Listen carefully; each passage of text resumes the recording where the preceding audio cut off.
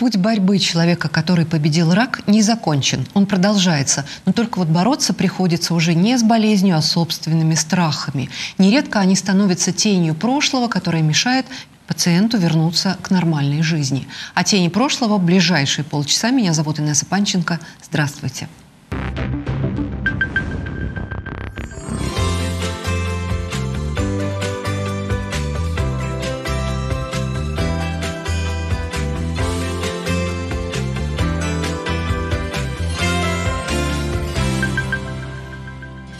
Программа выходит при поддержке Министерства здравоохранения Самарской области, Самарской областной ассоциации врачей и информационной поддержки журнала «Личный врач». Это программа «Звоните доктору». Сегодня дежурный врач нашей скорой телевизионной помощи Юлия Русских, психолог отделения медицинской реабилитации Самарского онкодиспансера. Добрый. А, ну, излишне напоминать, наверное, что мы работаем в прямом эфире. Тем не менее, телефон для ваших звонков 202 11 22.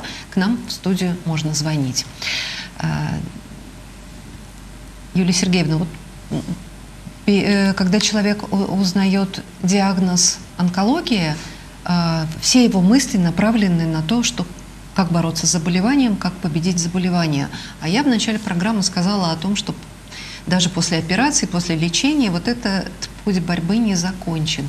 С чем приходится бороться ему дальше? Вот почему, откуда они берутся, эти страхи, что испытывает пациент после того, как он уже пролечился, и вроде бы все, оно и, и ничего. Ну, откуда берутся страхи, да? То есть это общее представление э, о том, что такое онкология, какая она, вот о, общее представление общества даже, да, не отдельно взятого человека. У нас не принято разговаривать, у нас не принято говорить, посмотрите, у меня рак, угу. и я живу, у меня все хорошо и замечательно, да? То есть вот об этом э, только в последнее время стали, ну, как-то хотя бы более-менее разговаривать. Так... Э, каждый сам с собой. Соответственно, тогда, когда нет информации, возникают вопросы. Когда возникают вопросы, мы начинаем фантазировать, мы начинаем где-то что-то искать, а, сталкиваемся в основном с поиском информации, ну, в том числе не очень хорошей, скажем так, да, результатами, а, и от этого, от этого еще больше страха.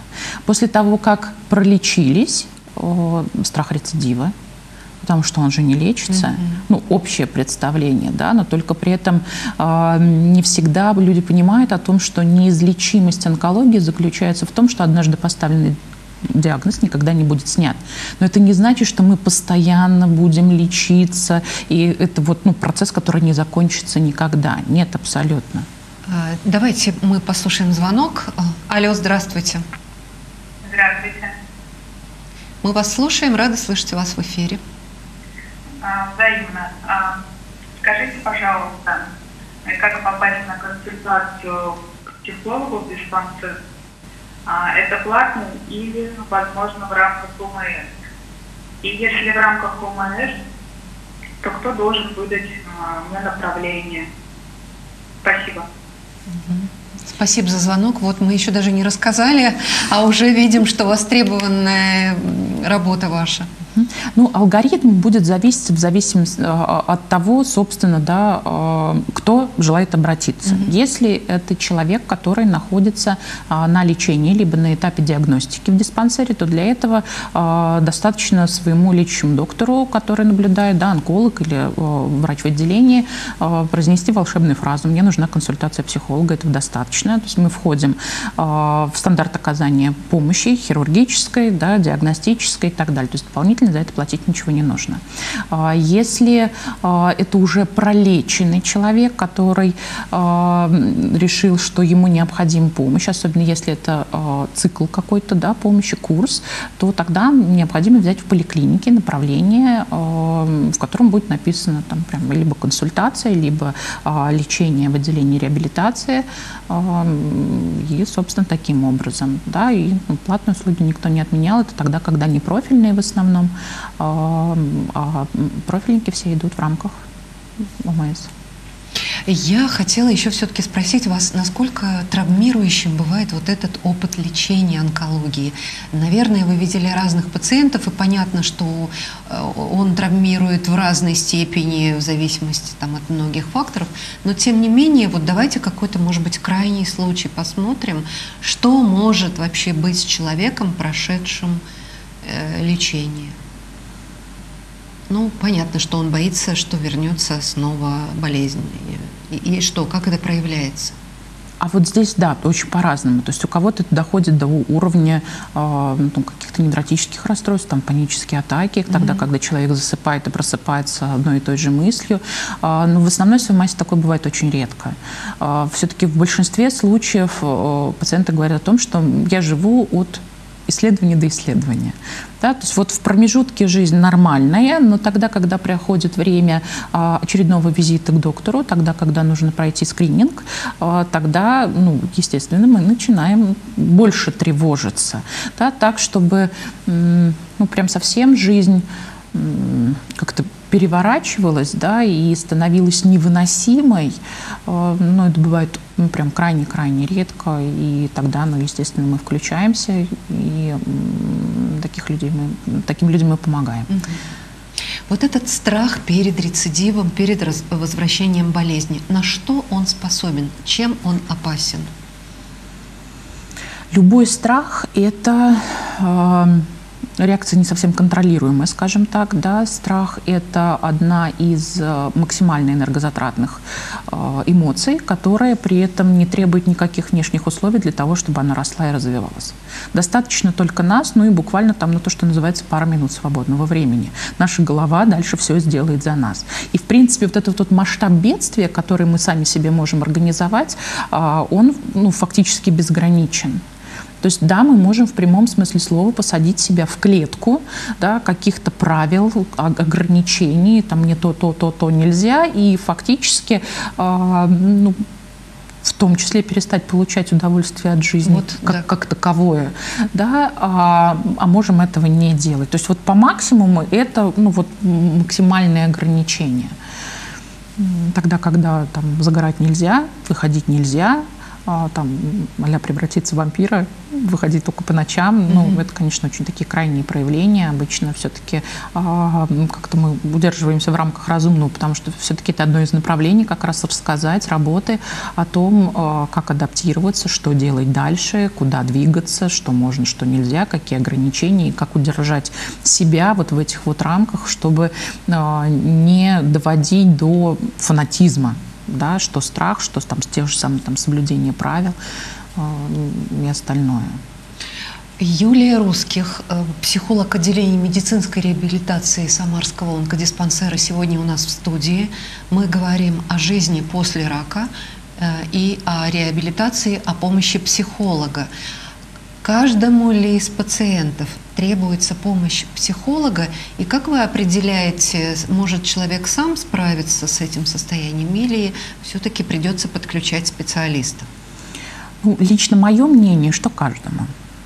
Просто э, будет разница в том, насколько мы включаемся, будет разница в том, какой объем работы будет произведен с человеком. Да? Кому-то достаточно разовой встречи информационной для того, чтобы э, задать направление движения, и, и все. И этот человек дальше будет двигаться. А, кому-то этого недостаточно, кого-то нужно э, ну, в прямом смысле слова, то, что называется, бережно за ручку выводить в свет, возвращать в жизнь, возвращать к себе, возвращать эмоции, возвращать радость и все остальное. То есть, поэтому здесь будет еще зависеть тоже от того, на каком этапе человек обращается. Да? А вот это стремление, да, я сам, оно, конечно, здорово, да, но а, здесь всегда у меня, например, возникает вопрос, а какое количество времени, силы, энергии мы потратим на то, чтобы сам и стоит ли тогда эта игра и не свеч? переоценка ли это себя? А вот смотрите, наверное, не каждый человек хочет и готов говорить о своих внутренних страхах, особенно, наверное, с мужчинами, ну, я предполагаю, в этом смысле сложнее. Тогда как вы все-таки делаете вот этот, эту диагностику эм, ну, не заболевание, да, вот мы говорим страх, страх, но вот этого состояния, как вы его диагностируете? Ну, э, изначально проводятся встречи информационные в основном. Да, тогда, куда мы приходим, э, рассказываем да, в отделение, вновь поступившие mm-hmm. пациенты, мы рассказываем о том, что есть служба, что к нам можно обращаться, какими вопросами мы занимаемся. У нас то есть эта информация предоставляется и, собственно, дальше открытый карт-бланш. То есть проводится диагностика, в том числе первичный скрининг, оценка эмоционального состояния, где а, пациент сам отмечает, а, какой уровень стресса, там от единицы до 10. И а, тогда, когда мы видим цифры высокие, тогда, ну, то, что называется, мы настоятельно рекомендуем в процессе. Да? То есть тогда, когда это в хирургических стационарах проводится. А, и э, дальше в моменте консультации, вернее, госпитализации, да, я могу прийти и спросить, а как теперь ваши дела? И если человек оценивает, что да, настроение стало лучше, там, тревога снизилась, там, стабилизируюсь, то тогда ну, здорово, замечательно. Если нет, плохо, тогда там, еще предложишь, да, там, а может быть все-таки, да, ну, потому что здесь все-таки работает то самое правило, когда насильно мил не будешь, и тогда, когда у человека э, нет желания, то результат, как правило, его тоже не, сильно Безусловно. будет. Безусловно. И вот вы сказали, зависит от того, на какой стадии подключился психолог к работе. Если я не ошибаюсь, существует пять стадий принятия угу. горя, проблемы, э, ну, не знаю, может быть, стоит их сейчас, конечно, назвать, и, и на какой все-таки стадии эффективнее вот это делать? А, подключаться можно на любой а стадии, абсолютно. Да, первая стадия это у нас шок отрицания, угу. да, вторая стадия это у нас торга, это не про меня, это да, надо переделать ошибка. анализы, это ошибка, сходить к другому врачу, потом, как правило, наступает фаза агрессии, а, тогда, когда начинается поиск виновных, да, либо вовне, либо внутри, угу. следующая стадия депрессии и принятия принципе, психолог может подключаться на любой, начиная от шока, от больших чувств, тогда, когда а, помочь пережить их, да, и заканчивая ну, принятием. То есть не безнадежно тогда... никогда? Абсолютно, абсолютно. Просто в зависимости от того, какая стадия, будет зависеть а, выбор методов, которыми мы работаем, да, будет зависеть то направление движения, куда мы будем продвигать да, человека в, в его выздоровлении, да, а так абсолютно никогда не поздно.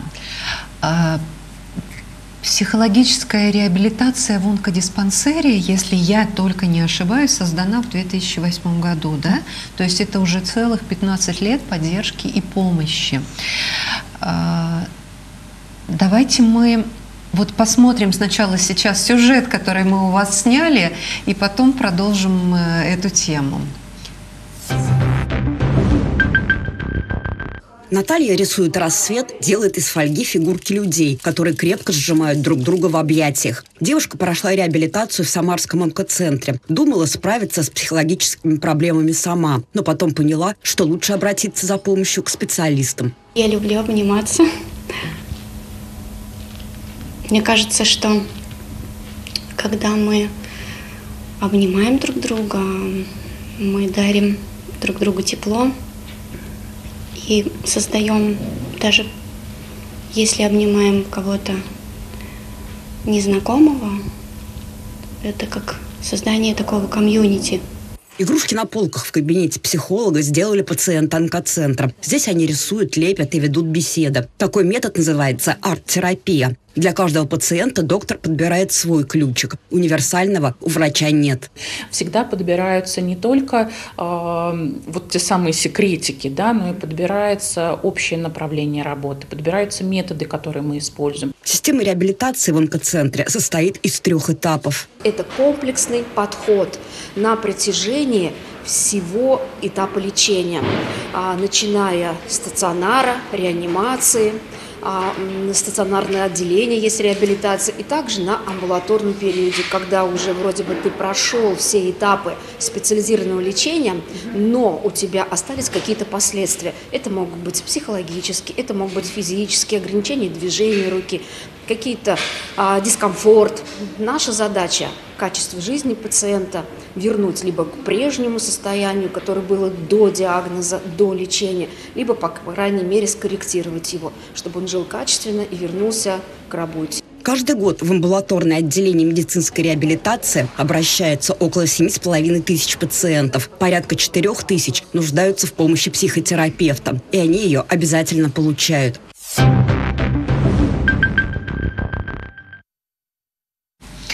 У нас в студии Юлия Русских, э, психолог отделения медицинской реабилитации Самарского онкодиспансера, и мы говорим сейчас о восстановлении после лечения онкологии. Телефон 202 11 22, есть еще немного времени, к нам в студию можно позвонить.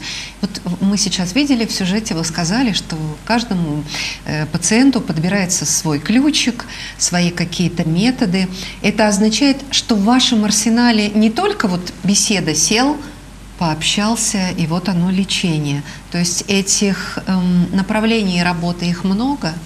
Конечно, да, то есть мы можем подключать и работу с телом, да, расслабление – это очень полезный навык, который, к сожалению, не у многих у нас есть, и не все мы умеем им пользоваться, но это тот навык, который э, помогает нам работать со страхом, который помогает нам становиться спокойней, лучше спать, да, и чтобы, ну, в принципе, радости в нашей жизни было больше.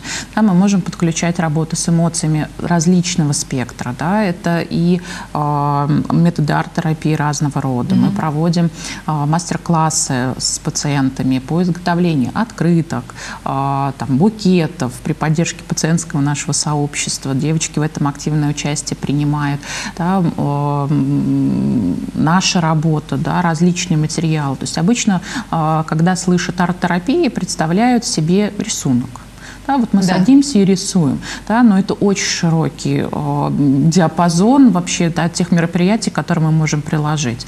А, те же картины, да, обратили наверняка внимание, у нас на стенах везде картины. Это тоже э, часть арт-терапии, это терапия средой. Это тогда, когда человек в любой момент времени, пребывая в диспансере, может подойти и отключиться глядя на то, чтобы да, переключить себя, поработать с внутренним миром, да, э, стабилизация эмоционального состояния. Иногда это становится ну, своеобразным таким окном в мир то, что позволяет не закрыть скорлупу целиком. Да, а если переходить к непосредственно нашей работе, да, это и фольга, это и пластилин. Такая это трогательная была ваша пациентка. Наташа, она очень трогательная, очень интересная девушка. А вообще большой штат психологов, и э, у каждого раз свое направление? Или каждый владеет вот всем этим набором? В принципе, все владеют этим набором. Мы полностью заменимы, скажем так. Понятно, что основной инструмент в работе психолога – это не тот метод, которым мы владеем. Да, основной инструмент это в работе эмпатия, психолога наверное, – это сам психолог, да, это, это личность. А, и, и, конечно, за счет этого мы отличаемся, ну, потому что мы все разные люди. Но по большому счету у нас разделение весьма условно. То есть я, например, работаю в основном в стационаре.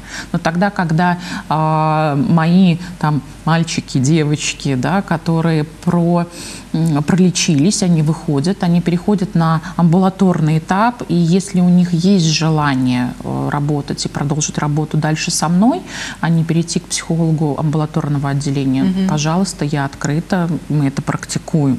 Да, так же, как и тогда, когда кто-то уходит в отпуск, мы, естественно, заменяем друг друга. Всего у нас сейчас четыре психолога и врач-психотерапевт. Вот наша служба. А вот при работе именно с онкопациентами есть какие-то свои особенности? А, чем отличается реабилитация онкопациента от, ну, не знаю, любого другого заболевания? На, на что-то вы делаете акцент специально с ним? На мой взгляд, разница будет в формировании внутренней картины болезни, в представлении человека да, о том, с чем он столкнулся. И да, в зависимости от того, в какую клинику мы приходим, если у нас клиника нервных болезней, да, там будет своя картина, в онкологической будет своя. То есть нам очень важно оставаться на стыке э, работы с онкологами в том числе. То есть мы, с одной стороны, должны понимать, что происходит э, в онкологическом плане да, с пациентом, но при этом ну, естественно, туда не переходить, ну, не давать интерпретации, да, не, там, не учить человека чему-то. А, но именно формирование гармоничной картины, когда не ужас ужасный, угу. что мы столкнулись, да, что это а, есть проблема, которую необходимо решать. И решать мы ее будем вот так, так, так, так и так, получим мы в результате вот это, и двигаться мы будем дальше вот туда. Да? То есть вот это основной, это будет именно вот спецификой а, онкологической в том числе, потому что тогда, когда мы работаем а, в медицинской практике да, с другими а, зоологиями, то тогда не всегда есть вот этот такой уровень страха, такой уровень э, зашоренности в том числе, да, понимание, что ну, вот впереди все. Скажите, а требуется ли э, э, работа с родственниками пациента? Ведь, в общем, нетрудно предположить, что э, они должны быть как раз главной опорой и поддержкой человека на всем этом пути.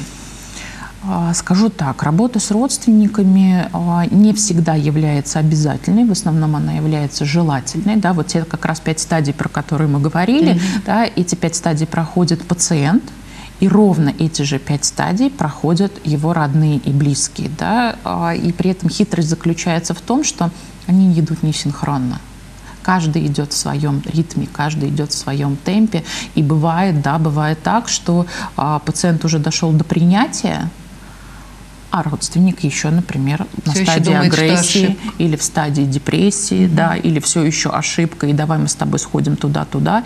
И вот тогда, да, но здесь э, вариант какой? Либо мы работаем непосредственно с родственником, да, либо э, мы работаем опосредованно угу. через пациента. Через пациента.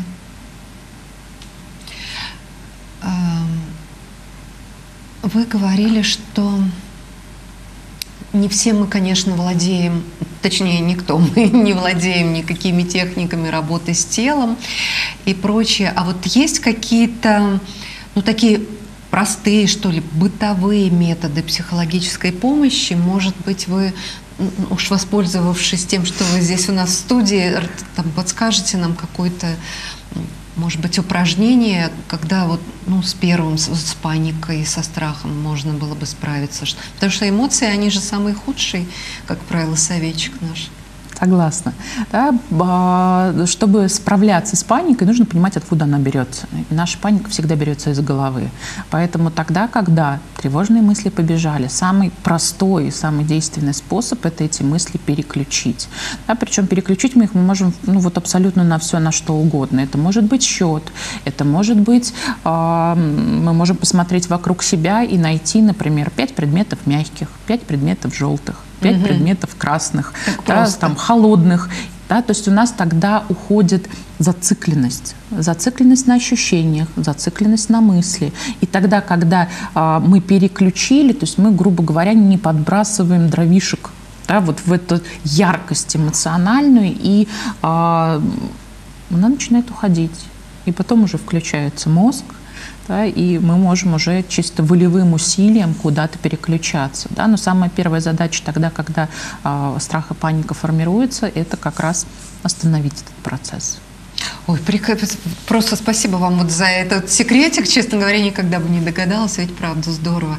Я бы еще хотела попросить вас, э, это уже, наверное, завершаем мы программу, и, и достаточно коротко сказать, вы увидели эффективность вот этой работы? Может быть, какие-то вот есть такие яркие результаты, что вы можете сказать, что да? Ну, я могу сказать, что абсолютно каждый пациент яркий. И его результат для него, он очень и очень яркий. Да? Угу. Сказать, что э, для кого-то э, результат это уже прийти и сказать, мне нужна помощь. И это уже то, чего как бы, никогда он в жизни не делал. Да? А для кого-то это ну, тогда, когда человек ну, фактически себя хранил и перестал это делать. Ну, это тоже уже очень здорово. Да? И э, опять же, да, пациенты и много очень положительных откликов вот, и это яркие результаты. Э, я благодарю вас за участие в эфире. Рак излечим. Спасибо, что были с нами эти полчаса. Увидимся ровно через неделю. До свидания. Спасибо. Да.